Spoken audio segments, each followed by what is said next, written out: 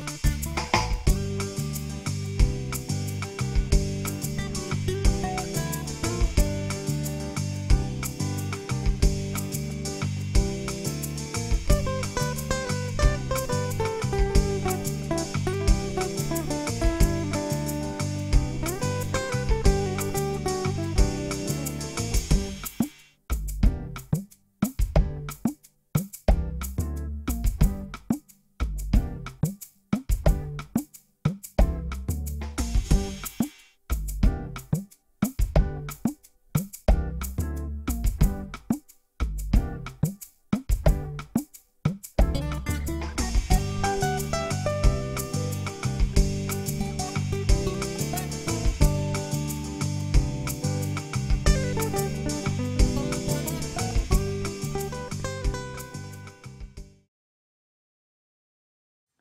Hi, and welcome to Schmooze with Suz. I'm Suz Montgomery, your host, and we've got an interesting show here. Uh, this is somebody I've been really interested in interviewing for a while.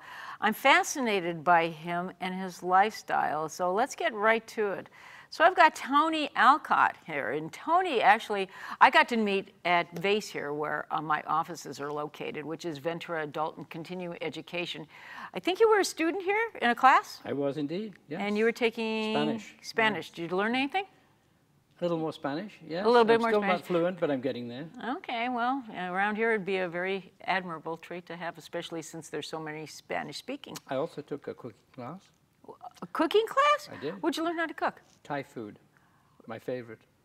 Why do you like Thai? Oh, I just love Thai food. I spent time What about it? in Thailand too. Oh, did you? How long? Okay, let's start at the very beginning. you were born where? Birmingham, horrible, horrible city. in Eng- Industrial? industrial city in England, the second largest city in England. It's um, very industrial. And And you it- escaped when? Oh, probably in my early 20s.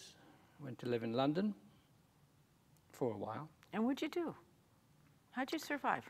Um, Because you were young, Well, I graduated in nuclear physics, believe it or not.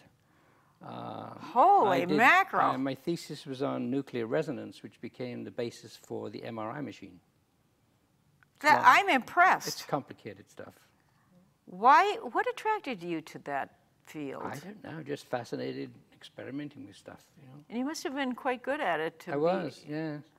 And you did it for how long? Well, I graduated from that and then had nothing more to do with physics after that. Really? After you Yes, studied? somehow I, uh, I ended up working for a couple of companies, had my own little company that failed miserably. That was a good experience. Okay. Then Good I way to went learn to work something for new. IBM for 17 years Really? on the technical side, and then I switched to sales and started making money.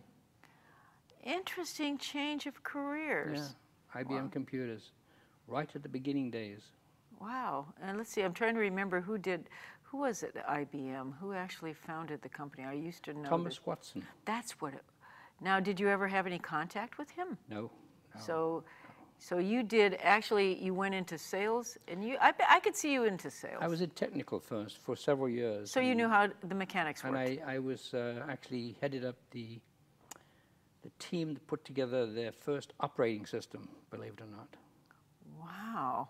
And um, then I, having spent many hours doing that and not earning the money that the salespeople were earning, I thought, I got to go sell this stuff.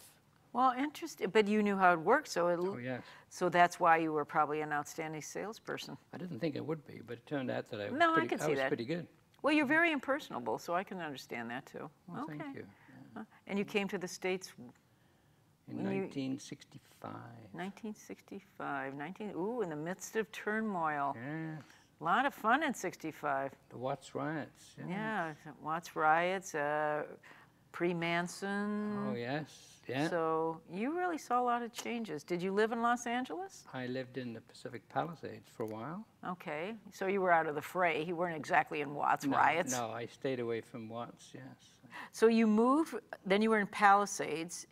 You still continued with IBM, and then did you make I- another career I, change? Uh, I moved. No, I stayed with IBM for a while. I bought a lovely home in Calabasas, up in the hills, where they said there was always a warm breeze. Turned out to be a hot blast. But, you know, Very hot, yeah. yeah, but that was nice. It was very nice.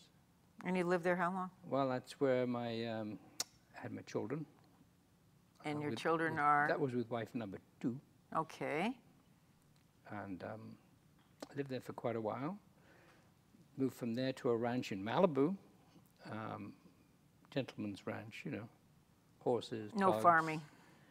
No, no. Although I did have a ride on lawnmower and a, a living housekeeper, and, uh, kids running around and other little creatures, you know, and, and I was traveling all the time. So Interesting. So how long were you in Malibu? until uh, 1977. And you transitioned again. Well, that whole thing fell apart, um, unfortunately, with uh, as divorces, you know, go. Oh, yeah. It- it's Swinging door. So I, I think I lost some countless amount of money. I had income property on the beach in Malibu and in Hollywood, and so I was kind of a, a slumlord, you know, and uh, having fun and spending money like it's going to last Because forever. it never would stop. And then uh, suddenly it all went down the toilet fast, and the attorneys took their share, and I ended up living on a boat for the first time. Why did you choose a boat instead of like an apartment or a condo or You know, I was walking by, or driving by more accurately, uh, one day in Marina del Rey to my office, which was in that area. And I saw these boats. I thought, wow, that's fascinating. So I went to check out the boats, and I thought, you know, I could live on one of these things. And um, so I started looking around. And it turns out that Marina del Rey has, I don't know, nine, 10,000 slips. they do? but not many allow liveaboards. So I checked all the different people that lease those slips from the county. and There's like 15, 18 of them, lessors. And um, oh, the waiting list was forever. There was no openings, no possibility of uh, getting a, a liveaboard slip. And on the very last one, on Fiji Way called Fiji Marine, it was a boat dealership and repair place, and they had the salesman there said, You know, we do have a boat for sale, and if you buy it, we'll give you liveaboard privileges. I said, I'll be right down. So I went down and saw the boat. I walked down the dock. Sunny day, you know, sun glinting off the boats, gorgeous. And I get to the boat, he said, This is it. And I, oh, wow, this looks nice. And on the back deck, here was this fellow and his girlfriend at the time, now his wife gorgeous blonde. They're drinking champagne. Oh, Hollywood He said, "Come set. aboard, come aboard, have a glass of champagne." Uh, he said, "Let me give you the tour." He gave me the quick tour. I said, "I'll take it." How big was it? uh, Thirty-six foot Chris Craft Oh, Chris Craft, those were beautiful. The wood, wood boat. beautiful, Yeah, beautiful. It's called boat. a lapstrake, where the wood overlaps. You know, it's it's a very seaworthy boat. Did you ever take it uh, to oh, sea? took it everywhere. Interesting. You know, had I've known at the time some of the dangers, I probably would never have left the slip.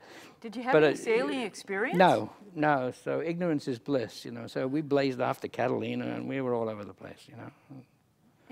Fortunately, we survived it, so that was good. We didn't have anything. No, we had a compass. That was it. amazing that Did- you didn't. Oh, it's, it's a miracle we didn't die. And how long were you on this boat? Four years. And you fell in love with living aboard?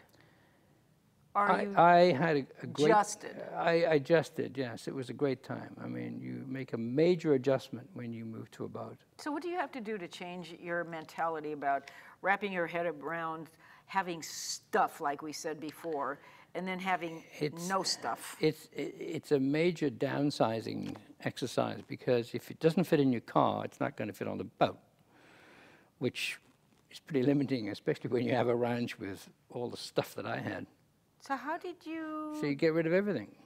You sell it or give it away. and no second thoughts, or was there any tug of war? What I'm Oh, there's- taking, there's, I'm there's taking. always some second thoughts, but you know, you, you life's an adventure. I mean, you don't have a big refrigerator. I'm thinking No. kitchen here, you know. No, no, you have a little thing. Yeah, yeah. So you buy for the day. Well, you adjust, you know, and especially if it's just you. It's amazing how much we were spoiled, you know, with these huge refrigerators and freezers. And, yeah, ridiculous. You change your perspective, did you not? Yes, you do. And on a boat, everything has its place. And it has to go back has to go back where it came from, otherwise it's a mess. So you have to be a bit of a neat freak. Do you think it attracts a certain type of individual, Yes. personality-wise? Oh, yes. Yeah. What type of an individual would really Neat freaks. Neat freaks, people that are consumed by being neat, obsessive, Uh, people who types. people who can get away from owning stuff because there's no room for it. and you didn't have a problem adjusting. I wouldn't say I didn't have a problem. It was um, quite an adventure, and it's in my book. You know, some of the things that happened. Let's talk about your book here. Beautiful cover. Who did the cover? Uh, I have a publisher in Texas that uh, helped me design the cover and also do a lot of the layout. It's a beautiful book. I mean, Thank there's there's a lot of great little stories in here. You know, I was paging through. This it's called Life at the End of a Rope. Great title. Who came up with the title? Interestingly enough, I came up with that title back in the 70s, but never did anything with it. I thought one day I'll write a book about life on a boat, but never got to it until early last year. And I thought, why didn't I do that? W- but Because I'm had- now- because I'm now you back have any living- skills in writing? No. Well, people always said You're I was. somewhat of a renaissance man. People Tom. always said I was I was a good writer, so I thought, well, we'll see. You speak well. You Thank were you. obviously educated very well. Yes, indeed. And lucky. so you came away with knowing that for certainty that you could write a book. yes, why not? Why not? Know, it took me about oh, I don't know, six or seven months on and off. That's all? Yeah, and that was only part time when I felt like it. Oh. This is amazing to me. People sit there and, you know, I'm trying to think of one author in particular that, I mean, take, uh, let's see, I'm trying to think of Meacham. Do you know Meacham? Uh, Yes, uh, wrote a wonderful book on Thomas Jefferson that I read. Yes, Big- yes. I, I read historical novels. Ah, well, those, those are thick. I mean, this is small. But still, you know, you have to have the same skills to basically be able to write. I think you have to have the subject matter in your mind and some kind of semblance of order of what the story is you're trying to tell. So maybe the way you've organized your life inside of a boat into a space, you do the same organizational development as in writing a book? Kind of. Okay, so I'm trying to tie this together to, I'm trying to figure out the way your mind is working here. You know, it started in different pieces, and I had bits of it all over the place. And then I thought, well, why don't I do the first half of the book autobiographically, roughly? So I tell my story of the two, twice I've lived on a boat. Once back in the 70s, and now for the last three years in, here in Ventura. And then a little bit of advice about what to do about living on a boat, how to buy it, where to put it, all the things you have to worry about, well, should worry about in terms of maintenance and all that stuff. So the And boat you have now, it's a totally different boat, correct? Totally different boat, yes. Okay. Um, but then the second half of the book, it has nine stories, nine different stories of other people who live on boats. And they agreed to be interviewed. I have, uh, yes, I have the legal agreement to publish. And their photos and the photos of their boats are in the book. And how do they feel about? They loved it. I bet they did. I bet you're a good storyteller. Well, you know, it was their story, really. I, I uh, interviewed them, and then, of course, I, you know, edited it and had them approve it and so on. But it went backwards and forwards a few times. I'm fascinated about just in general. I guess it's, you know, coming from a parent of a pack rat. My mother was a professional pack rat, very professional pack rat. I've told you stories about Yes. the ball of Yeah, foil. the tinfoil. Unbelievable story. Things my mother saved when she died. It was just my brothers, like I said, they just put their hands and they went, "We're not touching this stuff. That's all yours," and they walked Yeah. away. It was heartbreaking and a lot because there were so many pieces of our childhoods in there. Oh, In yes. this garage of 60 plus years. But, uh, you know, and going down memory lane, it was difficult to look at a lot of it too. But a lot of it was just bizarre. I mean, the things people keep. I Oh. mean, I'm sure when you were cleaning out, you probably thought to yourself, why do I have this and why did I keep this? You know, you had to pick everything up and say, "D- when did I use this last? You so know. did you have a way of purging? I mean, if, is it like the one-year rule that if you haven't used it in one year, it gets tossed? I, I, there isn't really so much as a rule as you know whether you a need it or b just can't part with it. Now I do have a storage unit, but there isn't much in there. I mean, I have some valuable paintings and a couple of pieces of very nice furniture that I couldn't bear to part with. and all my photographs. Oh, you can't lose those. so, you know. It's your uh, history. yeah. Basically, you kept The rest of it went. It's expendable. Now, you've got a no, new boat, you said, for the past three years. How'd you get to Ventura, first of all? Oh, that's that's a long story because my life has been a pretty much a, uh, a, a you know a kaleidoscopic adventure. You know, it's. Uh, It I've- sounds, I- I- I'm fascinated, though. I, uh, I, it was after I published a magazine uh, with ex-wife number four, and uh, when What kind of a when- magazine? A health magazine, Your Health Connection. YHC magazine published it. It was here in the area. Yeah, I remember that magazine. It was very popular, It was. but it wasn't profitable. And after 2008, it went. Well, everything did, didn't it? Well, you know, it uh, when that fell apart, um, a similar thing happened to what happened back in 1977. You know, you lose a lot of money, um, attorneys, this, that, and the other. You know, it's it's not pretty. So I ended up living in Spain. Why did you choose Spain? Oh, I thought I I thought I could settle in Spain and afford it. You know, and I lived there for a few months. Um, decided I wasn't quite ready because my son lives in Venice Beach, so I wanted to be close to my grandkids or closer to them. And uh, I came back and lived with friends for a few weeks and bought this boat, which I now live on. Does the boat have a name? Yes, hiatus four, Hiatus 4, referencing. meaning time out. Hiatus means time out. Correct. Time out for the fourth time, fourth I like it. fourth. Uh, I like it. Because my first boat was hiatus too, by just by coincidence. And I kept that name. I thought, how appropriate. And how big is this one? It's a little bigger, 44 foot, That's a big boat. tip to tail. That's a that's a big boat. It's nice. It's very spacious. Now, do you sail this one also? No, it's a power boat. Okay, it's a power boat. You went from sail to power boat. No, I had a power boat the first time. The Chris Okay. Craft was a power. Both power 36. boats. Both big power boats. Is this one seaworthy? I mean, Oh obviously yes, it's docked. very yes. But But you don't take it out.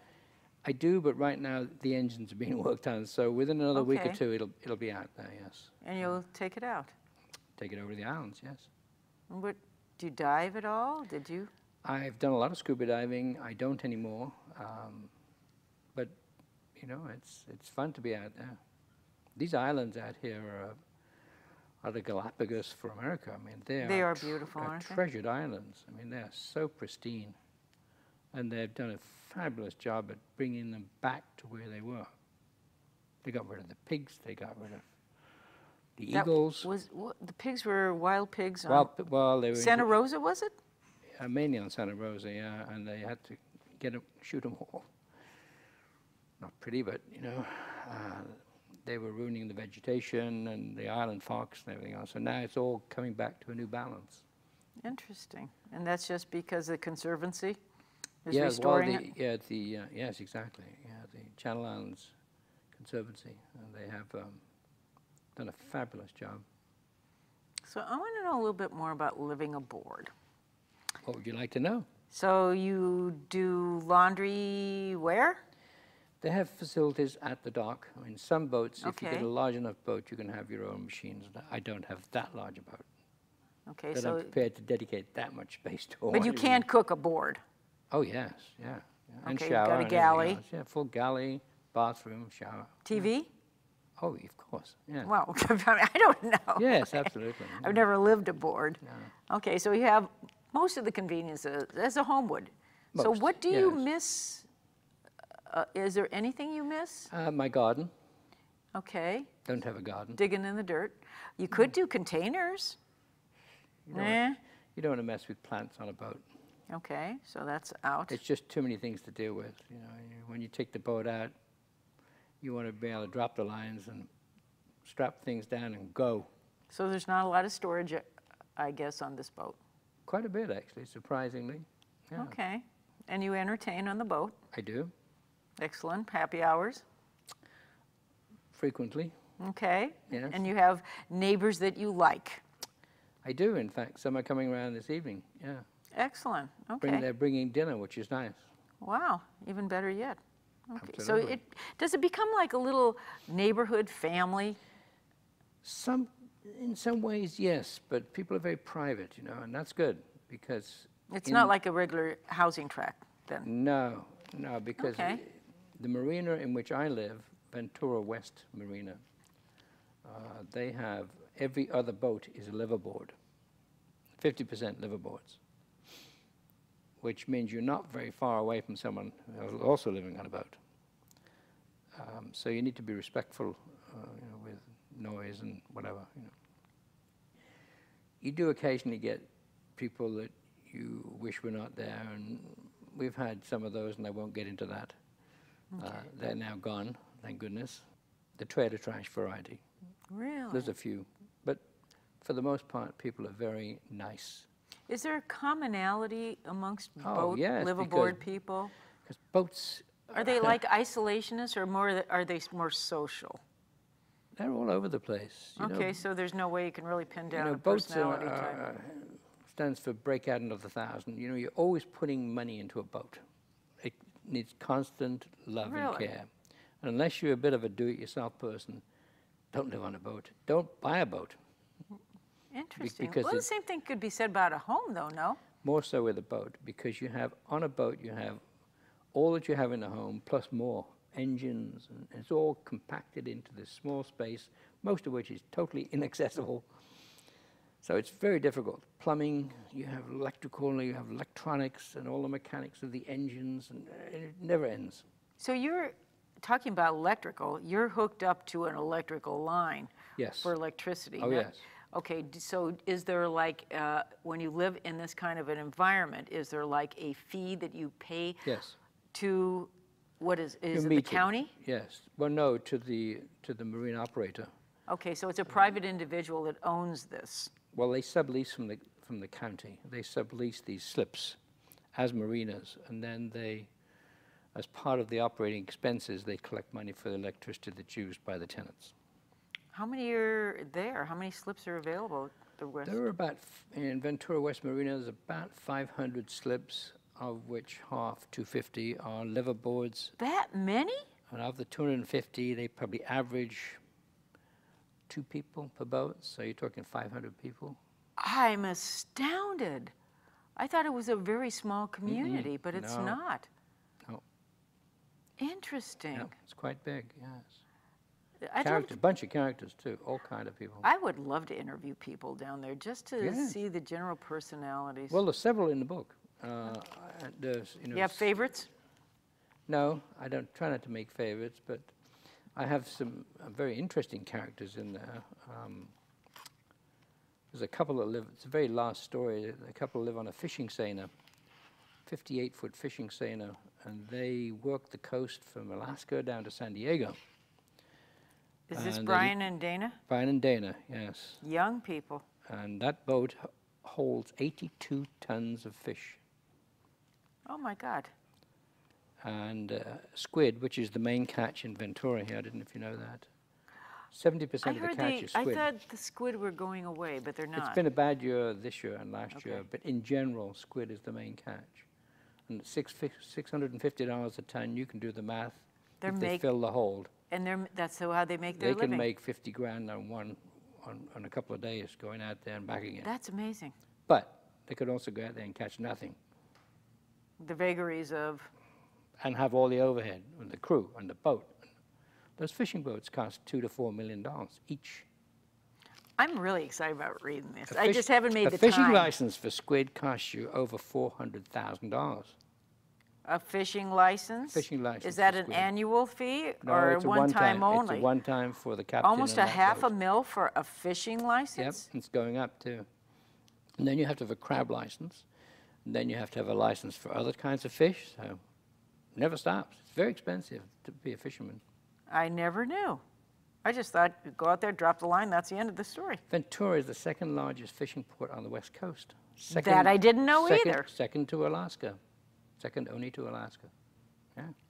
This is good. I've never known any. This is my backyard. This is I'm stuff not I even find out aware. about. This is stuff I found out about. You gotta get this book, guys. Yes, please buy this book. Please, Fa- I, honest, yeah, keeps Tony solvent here, so he, so he can buy a bigger boat if he wants to buy, be, At buy the other end of the spectrum, there's a fellow in this boat, in the book here, who lives on a canal boat in England, and that's going from one extreme to another. This is a long boat. These are 70 foot long, seven foot I've wide. seen them when I was over there. They're- I was fascinated by that liveaboard community. Completely different. Oh, but it's cold in England. Jeez. I mean, No, thanks. How do you heat yourself on that? they, they have heaters on them, but rather him than me. Would you recommend doing that for the average person, or it does take somebody that you just have to switch your gears or I something think you have to, adjust? have your mind in the right space. And you were at the time. Yes, but you know, a lot of people who live on boats are sailors, um, and they do it because they love to sail. And so part of their rationale for living in relatively cramped spaces, because a sailboat has a lot less room than a powerboat, is the fact that they can take up and sail off around the world or wherever they want to go. In fact, the very first story in there is a, a couple and their two children, who at the time, a year ago, March, were 11 and I want to say 11 and 13. Oh, was this They- the story in the Star? The Rigneys, they went off and sail, Yes. sailed around yes. the world. Yes. Last I heard, they were in the Galapagos somewhere. God bless them. yeah. What a what a What a great adventure for kids, right? Yeah. I mean, that's Oh, yes. liveaboard education. Oh, fantastic education. They'll never have anything like that again. Never. I think we're running out of time. Wow. Oh, boy. Where can we get your book? Uh, it's on my website, oceanairliving.com. Uh, I want to invite you back sometime. I want to continue this. Well, I'm, thank I'm having a great time, and this is fascinating to me because this is a totally different way of life that I have for- nothing thank about. you for inviting- oh, you're you welcome. me. Thank you for being here. It's great. And by the way, you know, you, we didn't really discuss it much, but uh, I'd encourage, like, we started the conversation about Tony taking some classes here at VACE. We have a multimedia, which is what uh, we're doing right now with our camera crew. These are our students. They're very professional. They're learning how to do this. And I'd uh, welcome anybody that come over to VACE if they'd like to learn how to do something in the way of classes or programs. So I'm glad you did. And that's, otherwise, I wouldn't have met you. I think it's a great place to come to learn. So do I. I think I- and I'm grateful that you're here. Well, thank Thanks you so for being much. here. You're, Pleasure. Thank you're you. a jewel. And thank you for joining us. We'll see you again next week